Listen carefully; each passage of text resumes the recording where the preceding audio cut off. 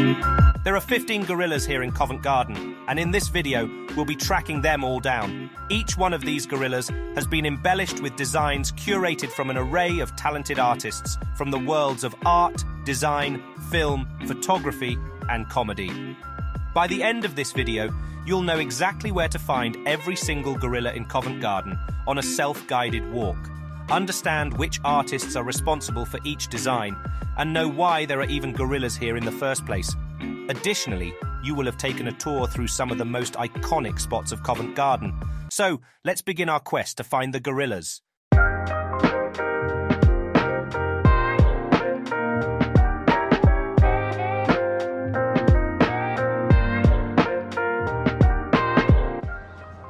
Starting at the West Piazza of Covent Garden, we spot our first gorilla, Sally Wood's gorilla named Precious. This gorilla has been inspired by the highly endangered silverback gorillas and how precious they are, says Sally. Sally Wood is an actress and producer. She sits on the board of trustees for the Roundhouse Theatre and harbours a passion for new work. She's married to Ronnie Wood of the Rolling Stones, and together they have twin girls, Alice and Gracie.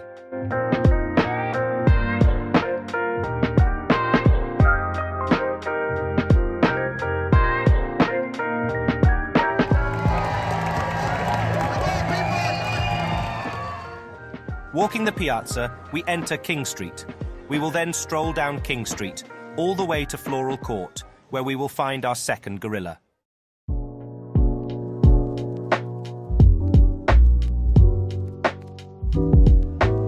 And here we have our second gorilla, named Homeless, belonging to artist Hayden Kays.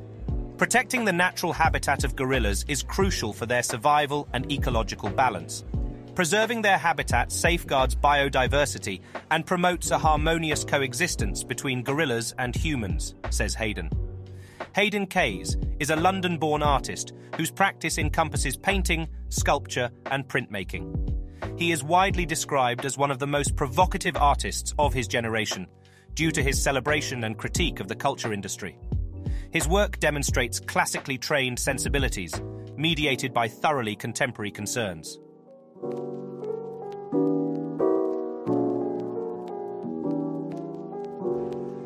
Walking out of Floral Court, you will be led into the beautiful Floral Street. Just off Floral Street in Conduit Court, you'll find our third gorilla waiting patiently for us.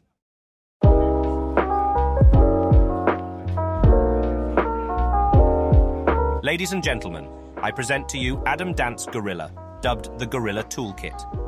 The Gorilla Toolkit is decorated with images of tools like a page from Diderot's Enlightenment Encyclopedia to clearly delineate what distinguishes us from and connects us to these beasts, says Adam. Born in Cambridge in 1967, Adam Dant trained in printmaking at the RCA, HDK Berlin, and MS University, Baroda, India. Awarded a Rome Scholarship and a Jerwood Drawing Prize, Dant's engaging historically rich prints and drawings have led to The Guardian describing him as a Hogarth for our times. Moving on, we step into the ultimate Instagram spot of Covent Garden, the Infinity Chamber. This will lead you directly to the fourth gorilla, Right outside the Infinity Chamber is the fourth gorilla belonging to Chila Burman, titled My Friend. I've dressed you up in the best outfit ever, says Chila. Chila Kumari Singh Burman is celebrated for her radical feminist practice, which examines representation, gender, and cultural identity. She works across a wide range of mediums, including printmaking, drawing, painting, installation, and film.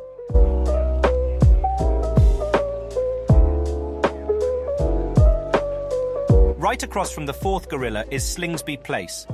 Cross over to Slingsby Place and keep walking. Don't forget to look above and below while walking so you don't miss out on some of the colourful sights this place has to offer. Eventually, you'll get to the yard. Step in and turn left. You'll find our fifth gorilla there.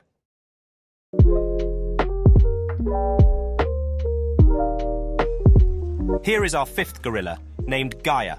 This gorilla belongs to artist Gemma Powell. I wanted to show nature, Mother Earth or Gaia, versus the city. The city representing man. Poaching and disease from humans are the two biggest threats to the gorilla, says Gemma. Gemma Powell is a British artist known for her painterly observational landscapes drawn from a close contemplation of nature and her travels. She has exhibited widely across the UK, including a successful 2022 solo exhibition in London. Her work is held in private collections across Europe, Australia, and the US.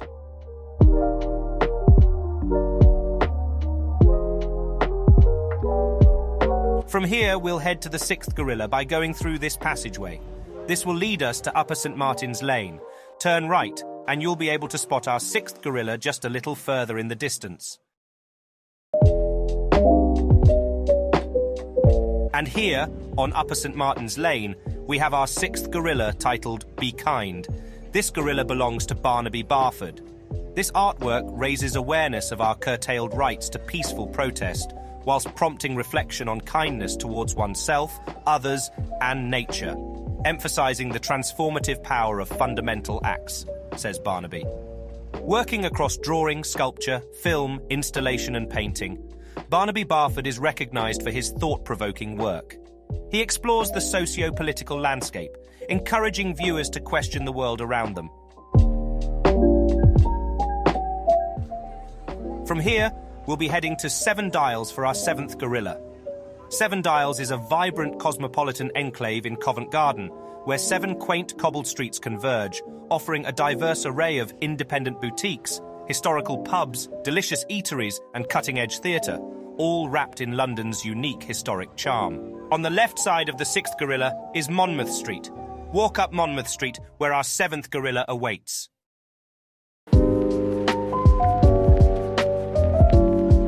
And there it is, our seventh gorilla, titled Forest Camo Gorilla, belonging to artist Pure Evil.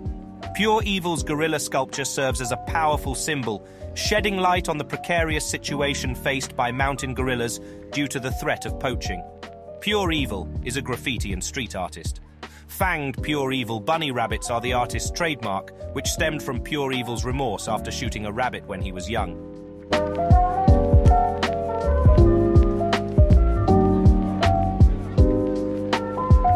For the eighth gorilla, we'll be heading to Shaftesbury Avenue.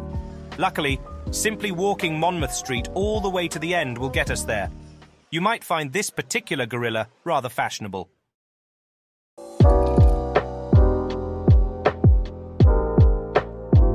And here's our eighth gorilla titled King Gone, belonging to artist Mauro Perucchetti an art-savvy gorilla for whom it is a no-brainer to save a 50-cent banana for later instead of letting a $150,000 one rot on the wall, says Mauro. Born in 1949, Perucchetti painted from a very early age, inspired by his childhood growing up in Italy. He spent decades experimenting with new mediums and created his iconic resin jelly babies. Perucchetti is a master craftsman and social commentator with his finger on the pulse of contemporary society.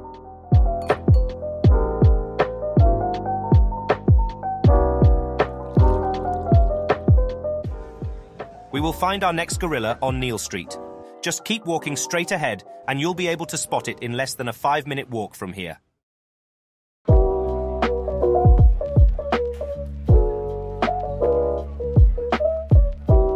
And here on Neal Street, we have the ninth gorilla titled Respect the Family.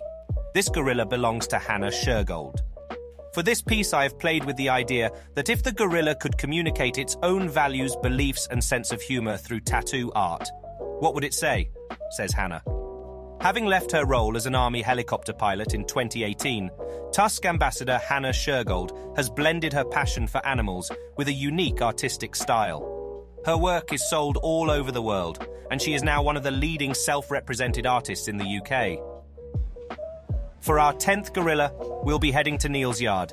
Simply keep walking on Neil Street until you get to Shorts Gardens, where you'll make a right. Continue walking until you reach Neal's Yard, then make another right into the alleyway.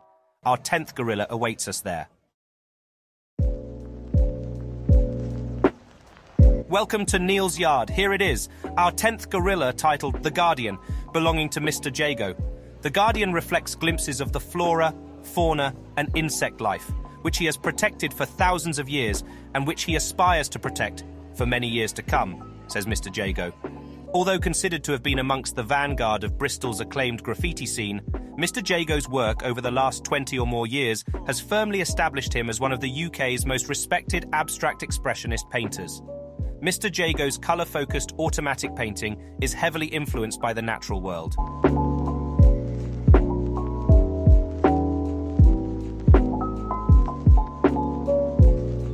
For the 11th gorilla, just walk back the way you came to the entrance of the alleyway leading to Neal's yard. Once there, you'll see Seven Dials Market right across. Walk right in. Our 11th gorilla is in there.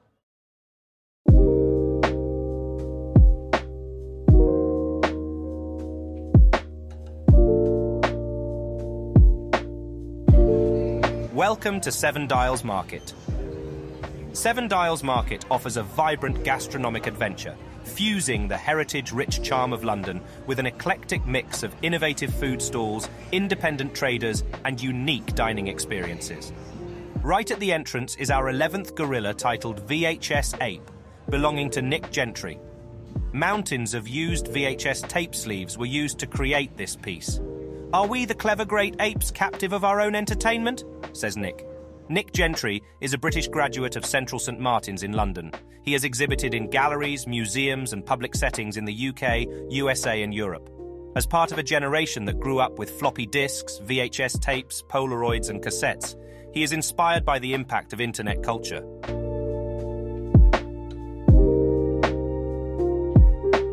Next, simply head back out of Seven Dials Market to Neal Street.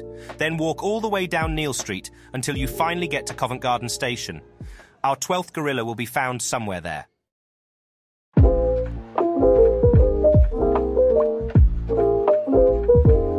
Welcome to Covent Garden Station. Right opposite the station is Regal House, where our 12th gorilla is located. This gorilla belongs to the artist Rankin. I like flowers, says Rankin. Rankin, a British photographer, publisher, and film director. His iconic photography has captured everyone from the Rolling Stones to the Queen. As a publisher, he co founded Dazed and Confused magazine, as well as over 50 other books and magazines. He is based in London with his wife and dogs.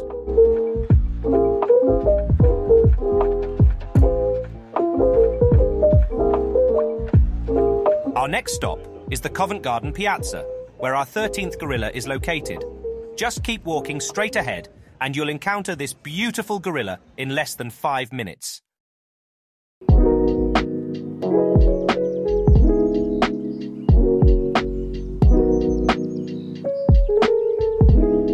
And here is our 13th gorilla titled Paint It Black. This gorilla belongs to Ronnie Wood and was inspired by the 1966 Rolling Stones hit of the same name. Ronnie Wood is the legendary guitarist with the Rolling Stones, a musician, songwriter, and artist who is as accomplished with a paintbrush as he is with his guitar. Classically trained at Ealing Art College, he has mastered a range of genres, from abstract to landscapes and portraits. Ronnie is Tusk's longest standing ambassador, having supported the charity for 30 years.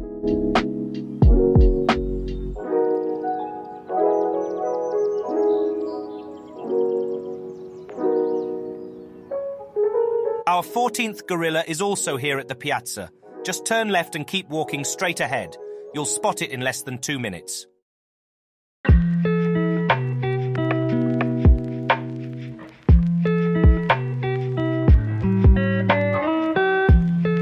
And here is our 14th gorilla, titled Frankie.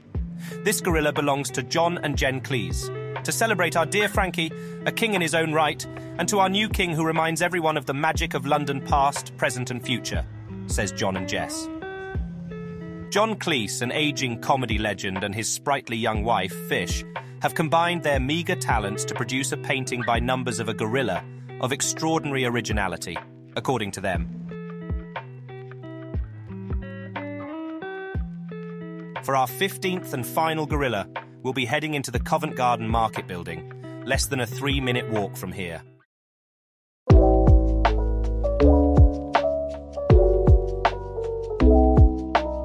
Here is our 15th gorilla, titled Sun Wukong.